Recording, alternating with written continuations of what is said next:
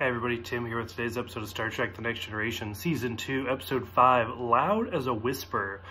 Um, I would say this is probably one of my favorite episodes, probably at least in my top 10. And it's it's a very important episode to me, personally. Um, so growing up, my dad was a Trekkie. He's the one that kind of got me into Star Trek. But this is the one episode that my mom really, really liked, and it was important to her. I remember watching it with her and then watching her start crying watching it um, because deafness is kind of runs in my family, especially on my mom's side. Um, a lot of them were hard of hearing. So at a young age, I was taught sign language, and then growing up, I went to classes for it. Um, I'm by no means an expert, but um, and slowly over time, I've used it less and less. So at this point, I, I'd almost say I don't even remember it anymore. Um, it's kind of like riding a bike. I need to get back into it.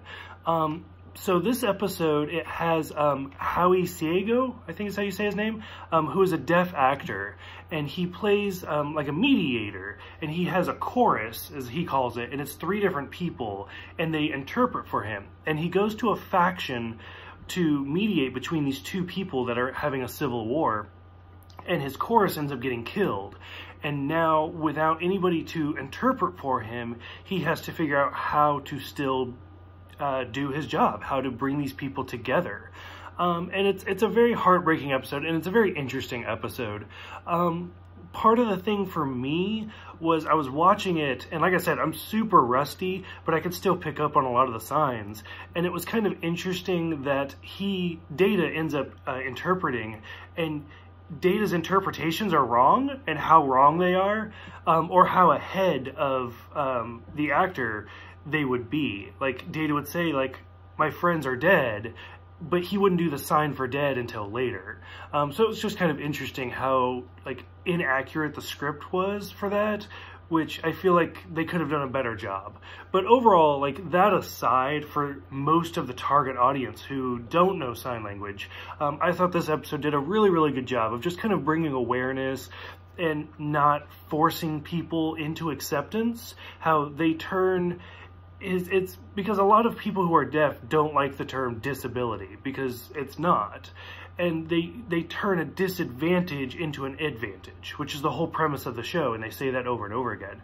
Um, so I, I really commend this episode. I think they did a really really good job. Um, also random trivia fact his his chorus it's two men and a woman. That woman harmony is um, John de Lancie's wife. Uh, she hasn't done a lot of acting. I actually had to look it up, um, but I thought that was kind of cool.